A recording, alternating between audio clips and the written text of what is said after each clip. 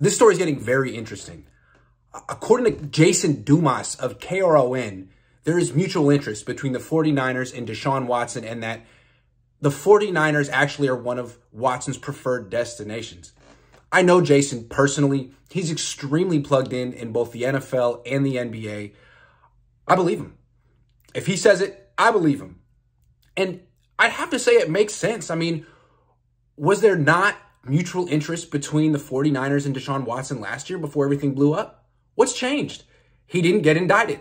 It seems like everyone wanted the Niners to get Watson last year. It seems like the Niners let the Rams get Stafford because they had their eyes on Watson. And then it was clear that Watson wasn't going to play last year.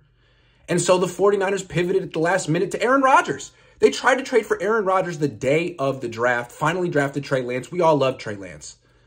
Uh, I think Niner fans have probably fallen in love with Trey Lance. Teams are cold blooded. And if Deshaun Watson was the Niners' top target a year ago, nothing's changed. So why why do the Niners why would they deny this? Because what if they don't get Deshaun Watson? You think they want this out there? This has to be a complete secret until the moment they get him. Because if they get Deshaun Watson, everyone will be happy.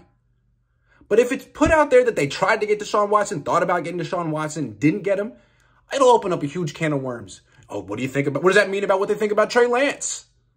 What does that mean about their morals? All that kind of stuff. But if they get him, everyone just throws him a parade.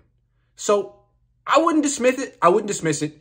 Uh, uh, the original guy who put out the report this morning, Schultz, hasn't walked back his report. Now there is a second corroborating report that there is mutual interest. There was mutual interest a year ago, and that the Niners are one of Watson's preferred destinations. Why wouldn't they be?